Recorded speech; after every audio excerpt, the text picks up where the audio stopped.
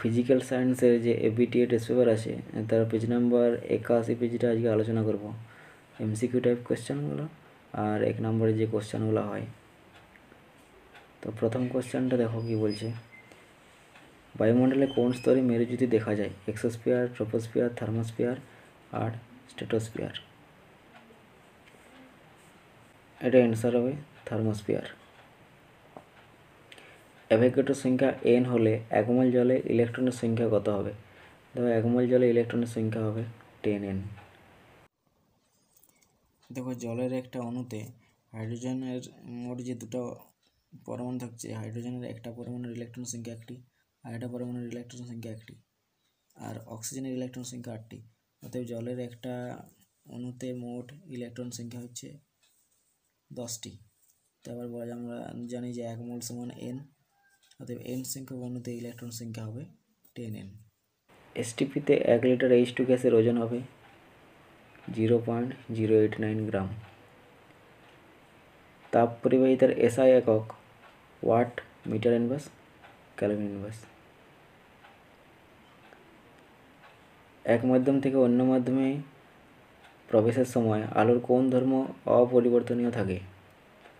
এখানে আলোর ধর্ম পরিবর্তন হবে না কম্পাঙ্ক। কারণ কম্পাঙ্ক আলোর উৎসের উপর নির্ভর করে। মানুষের চোখের যে অংশে প্রতিবিম্ব উৎপন্ন হয়, সেটি হলো রেটিনা।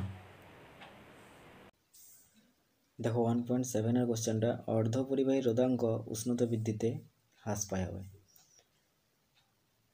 তারপরে প্রশ্নটা, কোনো পরিবাহীর প্রবাহমাত্রা দ্বিগুণ। এবং একই সঙ্গে সময় যদি তিনগুণ করা হয়, তাহলে পরিবাহীতে উৎপন্ন তাপ হবে পূর্বের তুলনায় বারো গুণ।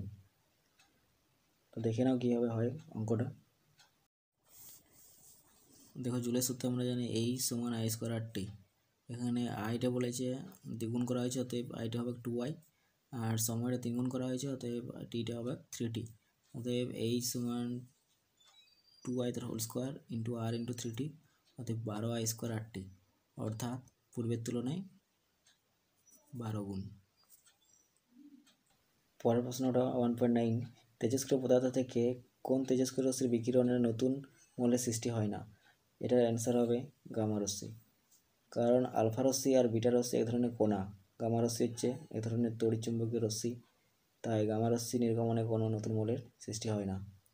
এটি কঠিন অধাতু হল আয়োডিন। দেখো, এগারো থেকে কোশ্চেনটা। সোডিয়াম ক্লোরাইডের জালকে প্রতিটি এনএ প্লাস আয়নকে ঘিরে কয়টি সিএল মাইনাস আয়ন থাকে? এর অ্যান্সার হবে ছয়টি। জলের তড়িৎ বিশ্লেষণে ক্যাথোড হিসাবে ব্যবহৃত তড়িৎদ্বার হচ্ছে প্লাটিনাম পাত এনএইচ থ্রিকে শুষ্ক করতে যদি সিএসিএল টু ব্যবহৃত হয়, তাহলে এনএইচ থ্রির সঙ্গে বিক্রিয়ায় যে জুতো যৌগ গঠন করবে, তার সংকেত হবে CaCl two dot eight NH three carbon বিজারণ পদ্ধতিতে নিষ্কাশন করা হয়, তখন হবে জেডেন। আর যে মৌলগুলো বাকিগুলো আছে, এনএ, এএল, সিএ, এইগুলো তড়িৎ বিজারণ পদ্ধতিতে নিষ্কাশন করা হয়। নেক্সট কোয়েশ্চেন সমগণীয় শ্রেণীতে পরপর অবস্থিত দুটি যৌগের মধ্যে পার্থক্য সূচক একক হলো, এটা হবে সিএইচ টু তাহলে দেখে নাও কীভাবে হচ্ছে। অ্যালকেন জাতীয় যৌগের, অ্যালকেন জাতীয় যৌগের প্রথম অণু হয় মিথেন মিথেনের হচ্ছে সিএইচ ফোর তারপরে ethane CH three CH three তারপরে propane CH three CH three তারপর propane CH three CH two CH three দেখো মিথেন থেকে যখন ইথেন হলো এর যে আণবিক সংকেতটা বৃদ্ধি হয়েছে সিএইচ টু ইথেন থেকে প্রোপেন হয়েছে তারও আণবিক সংকেত বেড়েছে সিএইচ টু অর্থাৎ একটা একটা অ্যালকেনের যে সমগণীয় শ্রেণি হয় তাদের মধ্যে আণবিক সংকেতের পার্থক্য হচ্ছে সিএইচ টু করে কিন্তু যদি আণবিক ভর বলতো তাহলে হতো ফোরটিন নেক্সট দেখো নেক্সট দু নম্বরের প্রশ্নগুলো হচ্ছে, দেখো প্রথম প্রশ্নটা ফায়ার আইস কি? ফায়ার আইস হলো মিথেন হাইড্রেট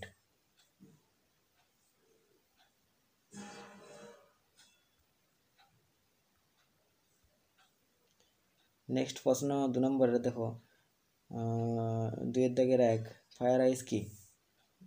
ফায়ার আইস হলো মিথেন হাইড্রেট ওর অথবা কোশ্চেনে দেখো বায়োগ্যাস উৎপাদনে কোন ব্যাকটেরিয়া দায়ী? বায়োগ্যাস উৎপাদন ব্যাকটেরিয়া দায়ী হচ্ছে মিথানোজেনিক ব্যাকটেরিয়া দুইয়ের দিকে দু নম্বর প্রশ্নটা বায়ু কলে কোন শক্তি কোন শক্তিতে রূপান্তরিত হয়? বায়ু কলে যান্ত্রিক শক্তি থেকে তড়িৎ শক্তিতে রূপান্তরিত হয়।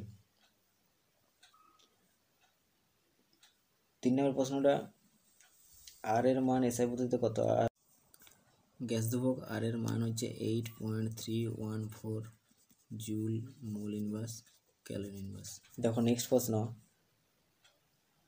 গ্যাসের আয়তন প্রসারণ গুণাঙ্কের মান কত? গ্যাসের আয়তন প্রসারণ গুণাঙ্কের মান হচ্ছে একের দুশো তিয়াত্তর ডিগ্রি সেন্টিগ্রেড ইনভার্স অথবা প্রশ্নটা কি বলেছে? তরলের প্রকৃত ও আপাত প্রসারণ গুণাঙ্ক উভয়ই তরলের নিজস্ব বৈশিষ্ট্য। এটা হবে মিথ্যা। নেক্সট টু পয়েন্ট সিক্সের উত্তল দর্পণের কাছে বিস্তৃত বস্তু রাখা হলে প্রতিবিম্বের বৈশিষ্ট্য লেখো। তো উত্তল দর্পণের কাছে বিস্তৃত বস্তু রাখলে এর অসৎবিম্ব ও ক্ষুদ্রাকৃতি প্রতিবিম্ব সৃষ্টি হবে। টু পয়েন্ট সেভেনে বলছে, সাদা আলো প্রিজমে পড়লে কোন বর্ণের আলো বেশি কোণে বেঁকে যায়?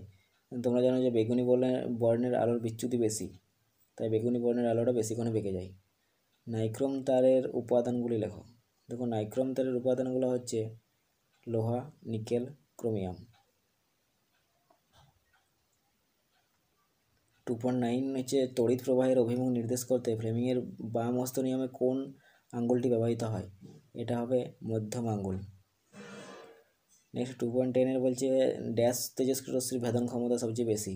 এই ভেদন ক্ষমতা হচ্ছে গামা রশ্মি। আলফা, বিটা, গামা রশ্মির যে ভেদন ক্ষমতার অনুপাতটা হয়, one is two hundred into ten হাজার। টু পয়েন্ট টেনের যে অথবার কোশ্চেনটা আছে, দেখো। আলোর বেগের সমান বেগযুক্ত তেজস্ক্রিয় রশ্মিটি হলো গামা রশ্মি। দেখো, দুয়ের থেকে এগারো গ্রামোফোন রেকর্ডে ব্যবহৃত হয় পিভিসি। সমাজী ও তরিজী উভয় প্রকার বন্ধন বর্তমান কেসিএন। ব্রঞ্চে উপস্থিত টিন অ্যালুমিনিয়াম ধাতুর খনিজ হচ্ছে চীনামাটি। দেখো তোমাদের সাথে এখানে আমি দাগ দিয়ে দিয়েছি। দুইয়ের এগারো কোনটা কী হবে? এবার মিলিয়ে নেবে দুইয়ের বারো। ক্ষারীয় মৃত্তিকাগুলি সরি ক্ষারীয় মৃত্তিকা ধাতুগুলি পর্যায় শ্রেণির কোন শ্রেণীতে অবস্থিত? দু নম্বর শ্রেণীতে।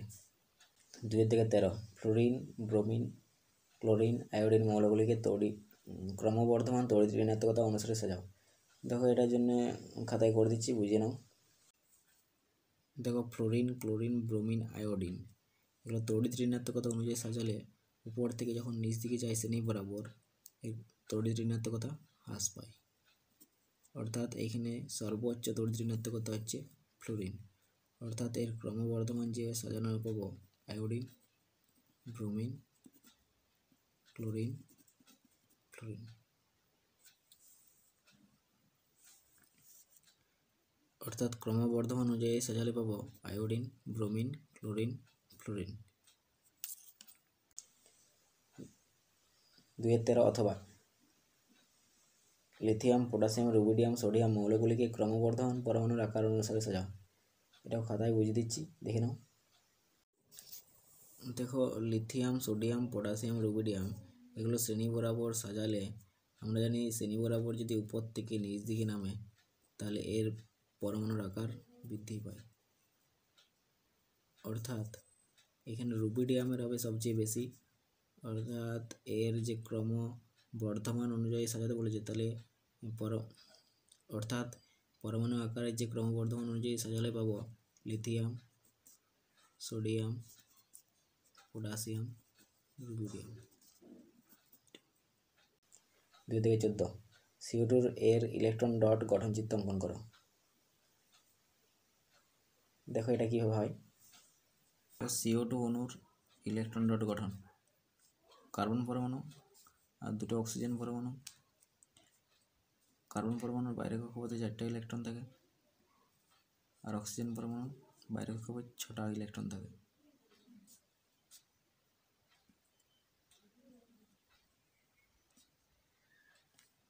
তাহলে এই কার্বন পরমাণুটা, এই অক্সিজেন দুটো পরমাণু দুটি দুটি করে ধার নেয়। পূর্ণ করে আর এই অক্সিজেন পরমাণু কার্বন পরমাণুর দুটি ইলেকট্রন ধার করে সমজ বন্ধন গঠন করে আর একটা অক্সিজেন পরমাণু কার্বন পরমাণু দুটো ইলেকট্রন গঠন করে সমাজী বন্ধন জোড় গঠন করে। O double bond C double bond O আর দুটো করে নিঃসঙ্গ ইলেকট্রন জোড় থাকে এইগুলো আমাদের সমাজী বন্ধন গঠিত হয়। এইগুলো দুই থেকে পনেরো। অ্যালুমিনা থেকে অ্যালুমিনিয়াম নিষ্কাশনী ক্যাথোড দরিদ্রে সংগঠিত বিক্রিয়াটি লেখো। দেখো, অ্যালুমিনা থেকে যে ক্যাথোড দরিদ্রে সংগঠিত বিক্রিয়াটি হয়, সেটা হলো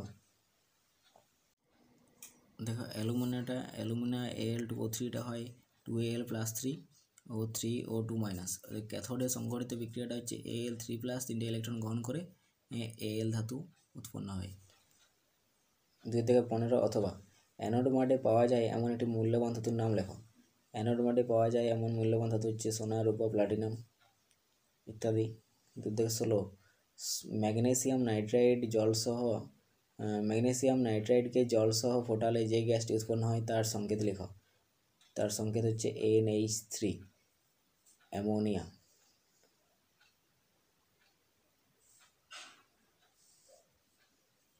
Next প্রশ্ন দুই থেকে সতেরো নাইট্রোলিয়ামের উপাদান লেখো। নাইট্রোলিয়াম হচ্ছে ক্যালসিয়াম সাইনামাইড ও কার্বনের মিশ্রণ। দেখো দুই থেকে আঠেরো CH three CH two CH two O H এর ইউপেক নাম। দেখো এটা খাতায় করছি, দেখো। দেখো, এখানে ইউপেক নামকরণটা যখন করব প্রথমে দেখো এই ও এইচ মূলকটা এই কার্বনের সঙ্গে থাকতে পারে বা এই কার্বনের সঙ্গেও থাকতে পারে। তার জন্য এই কার্বনের সঙ্গে যেহেতু আছে তাহলে এই কার্বন সংখ্যাগুলো আগে কাউন্টিং করলাম। এক, দুই, তিন তিনটা কার্বন মানে হচ্ছে প্রোপান প্রোপেন হয়। তার থেকে এইটা বাদ যায় আর ওই যে মূলকটা আছে, এর জন্য হয় অল তাহলে প্রোপান ওয়ান অল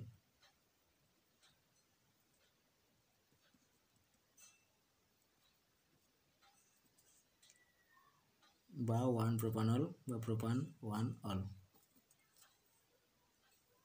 দুই থেকে আঠেরো অথবা তিন কার্বন পরমাণুযুক্ত অ্যালকাইন অণুর সংকেত লেখো। এটা হচ্ছে সি থ্রি এইচ ফোর। দেখো কীভাবে হচ্ছে একবার দেখে নাও। দেখো, অ্যালকাইন মূলকের সাধারণ সংকেত হচ্ছে Cn H two n minus two. এখানে যদি এনটা যদি থ্রি হয়, তাহলে হবে সি থ্রি এইচ তিন দুনে ছয় ছয় থেকে দুই বাদ এইচ ফোর।